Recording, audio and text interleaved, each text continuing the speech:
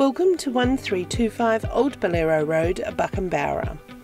This unique and stunning property, known as Bolaro Station, is on the market for the first time since the mid 1900s. Located around 50 minutes' drive from the Batemans Bay Town Centre, this 843 acre parcel of land offers a great mix of fertile, cleared grazing flats and unspoilt natural bushland. The homestead, which was built in 1949, is a testament to quality and versatility. Built using bricks made from local materials, this home is as solid as it was the day it was built.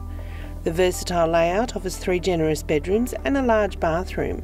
These are separated from the main living areas but connected by a wide Queenslander style veranda, ensuring natural climate control.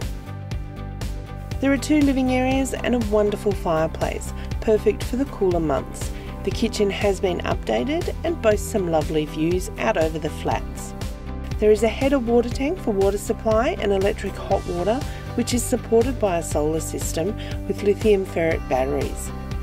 There is also a diesel backup generator, which is housed in a separate storage shed away from the main house. Referred to as the Hidden Valley and with good feed and permanent water in the clear flowing creek, the property has been used for many years, running up to around 250 beef cattle. However, with RU1 zoning, there is potential to clear more land for agricultural purposes. There is also potential to divide the property, but with an amazing outlook towards the Great Dividing Range and your own private valley, the scenery is just so spectacular that you may want to leave it just exactly as it is.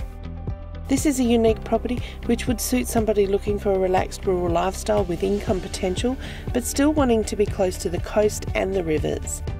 And that is what this part of the south coast is well known for. Words do not do this stunning property justice. So if this sounds like something that you've been looking for, please contact Rob from LJ Hooker Batemans Bay and he will arrange a private inspection which will not disappoint.